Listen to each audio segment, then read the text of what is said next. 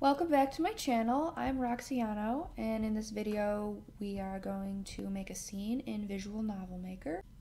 So we'll be getting into the dragging and dropping for characters and backgrounds and other assets. In the last video we created the project and learned a little bit about the scenes and the settings and what the tabs on the top do.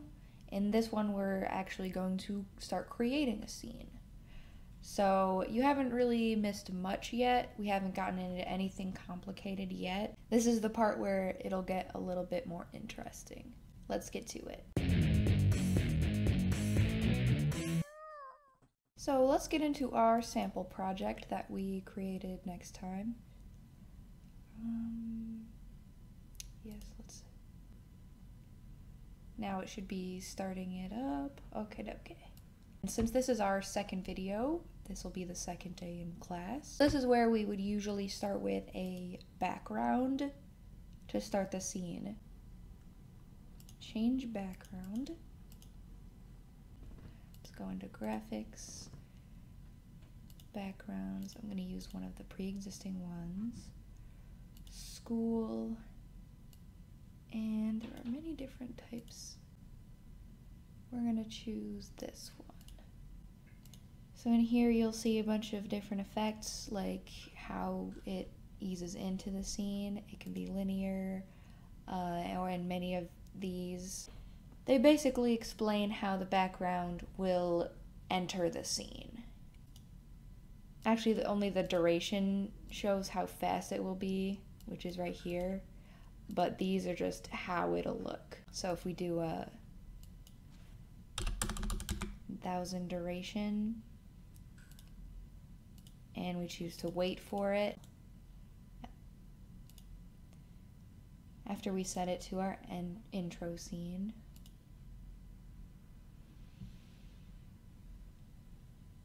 If we did it like 5,000 milliseconds duration, it would look like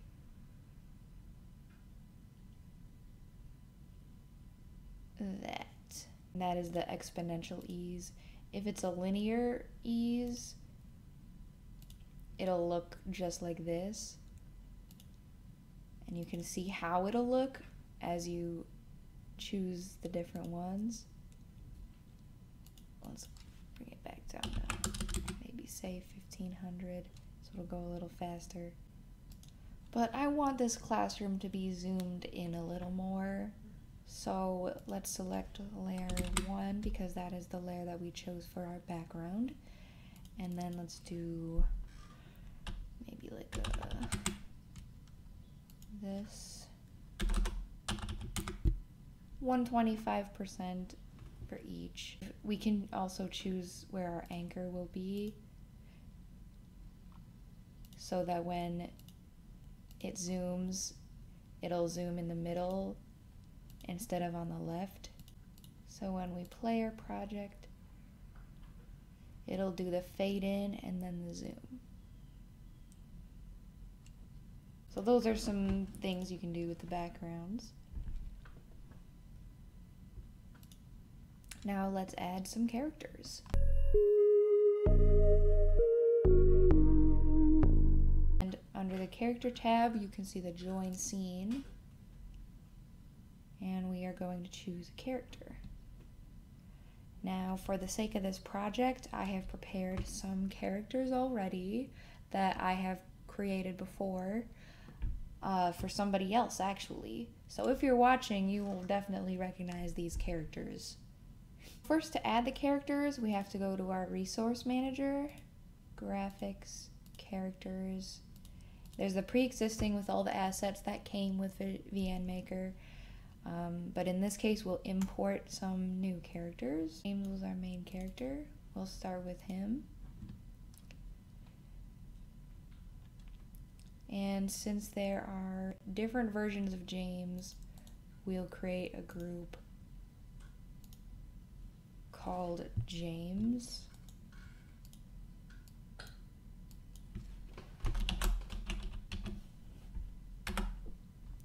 We'll grab that, put it right in there, and some more from James. He's got two other expressions. So now all of his expressions are in his folder. Since he's not in here with any of the register character records, we have to add him in our records. We'll create a new folder. No, not folder. A new record, and we will call it James.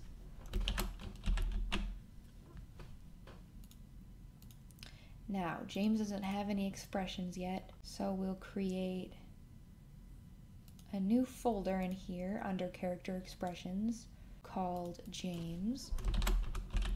And since all of these are records within the folders, we'll create a new record within the folder called sitting because he'll be sitting and we'll add his sitting graphic.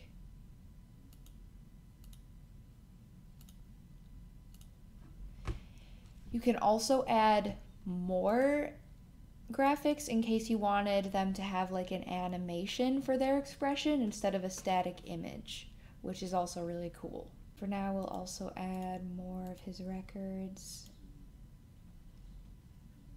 Happy is what we'll call this. We'll add his happy expression.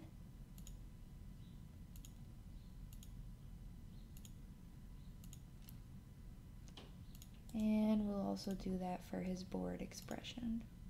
So now we have all these different expressions for James.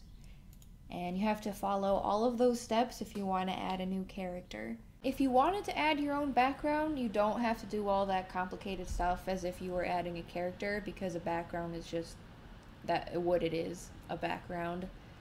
So all you would have to do is drop the backgrounds into the background folder and it's in there. Just the resource manager. You don't have to go into this or anything because it would just be part of the graphics, not any of these character tabs in here. So it will be a lot simpler if you wanted to do that. Same with these pictures in the picture tab right here.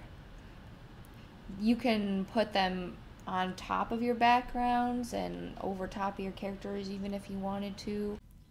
So we will select James. We will change his expression. We're going to do sitting, so he'll be sitting in the classroom. For his position, we're going to do direct because we want to put him in a certain spot. We can right click and select flip horizontally, and that'll change it so he's facing the same way as all the other desks. But it's gonna look kind of weird since his desk is a little different than the rest of the other desks. But that's okay. It's part of the charm of this sample project. So normally under this window there would be a cancel and an OK button, but the way my screen resolution is, it doesn't show that unfortunately. So what I would have to do is go into my settings and change the screen resolution but it just so happens that I won't be able to show that with for you guys because even if I do change the resolution in my settings, the resolution for the video won't change with it. So just trust me that there's a cancel and okay button right below this window, okay? and just so you know, if you're having this problem as well, you can go into your settings and fix the display resolution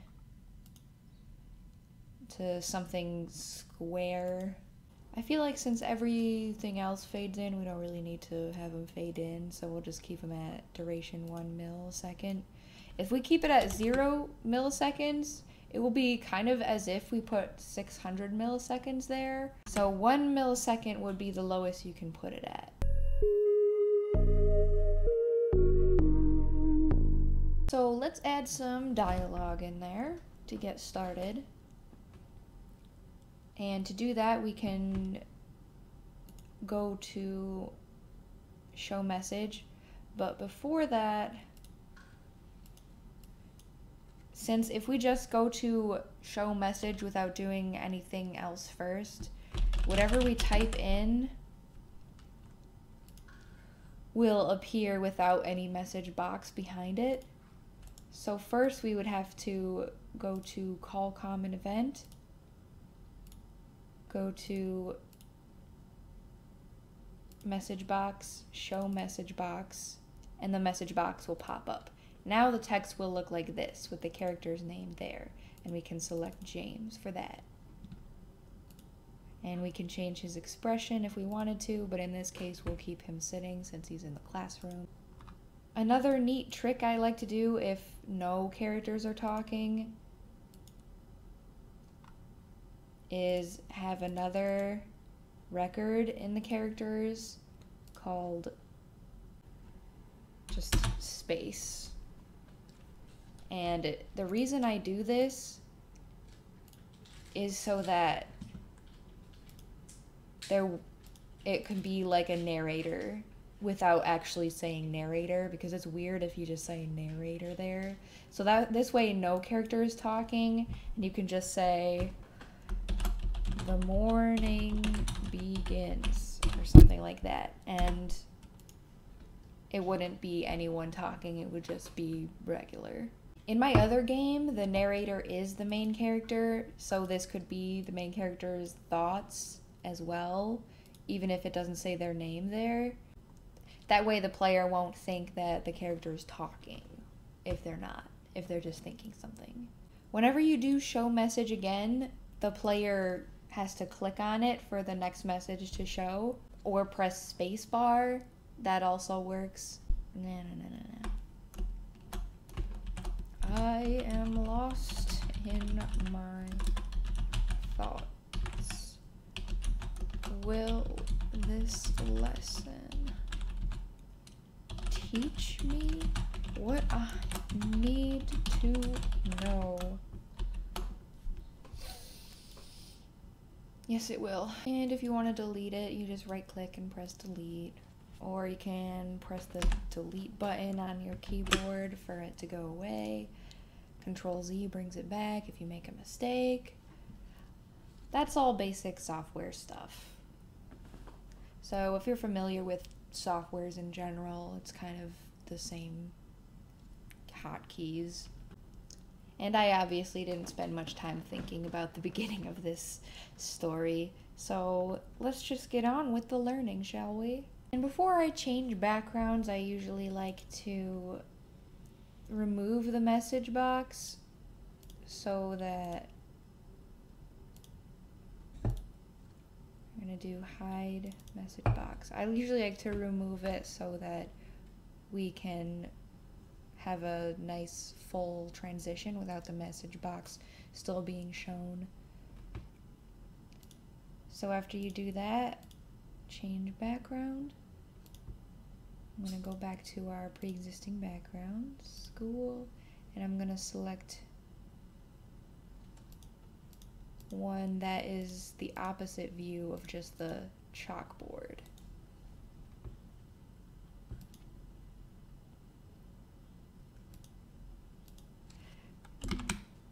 Going to be layer 1 since the other background was on layer 1. And if it was layer 0, it would be underneath that. So that's how you would affect the layers. We don't want him to be there, so we'll remove him first. We're going to do an exit scene, select James, and so it'll transition over here so we can add our teacher character. And I'm going to fast forward through the adding the teacher character since we've already seen how to add characters. So we are going to choose our teacher character, and I call her Miss Serious because her only expression is serious. And since it's her only expression, we can set that as her default expression. Under characters, default expression, which I have already added. And she'll just enter just like this. Let's choose, let's place her now in front of the chalkboard. So there she is, and we'll add a message for her. I'll just copy this one because I don't feel like finding it again. Go to show message, select Miss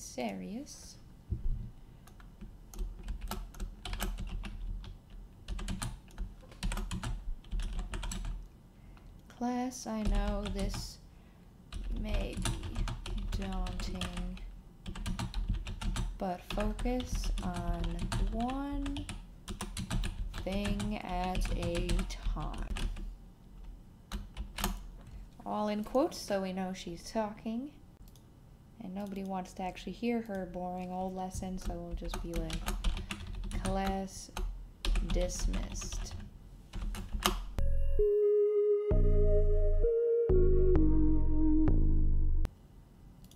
Copy, paste, message box is gone. Now we can fade out the scene, and I usually like to do this with a tint. We go to background, tint background, we select layer one because that is our background layer. Um, we can tint it into red. And we'll set the duration to 2000 so it'll just be all creepy. I'll have her I'll remove her first so that you know what I'll just tint her along with it so we'll select Serious and we'll do um, the same ish just as like an estimate. Okay. We can do continue and then wait. Having continue there will make it tint at the same time as the background if they're set to the same duration. I am lost in my thoughts. Will this lesson teach me what I need to know? Class, I know this may be daunting, but focus on one thing at a time. Class dismissed. So that will be all for our simple scene. Let's look at how many commands we put down. And usually a finished scene will look like this. Going into this, you may be like, oh, that's a lot of stuff to know, but you were with me this whole time. It was pretty simple. If you ever get stuck, you can always go back to this sample scene up there and look at everything that happened in the sample scene just to make sure you're doing things right. So I hope you liked this video and I hope you learned a lot in this episode of Creations 101 with Roxiano Creations. Stay tuned for more difficult stuff. Next video we'll get into choices and variables. Those would be essential mechanics in order to have a project that is definitely more engaging for the player. Looking forward to seeing you in episode 3.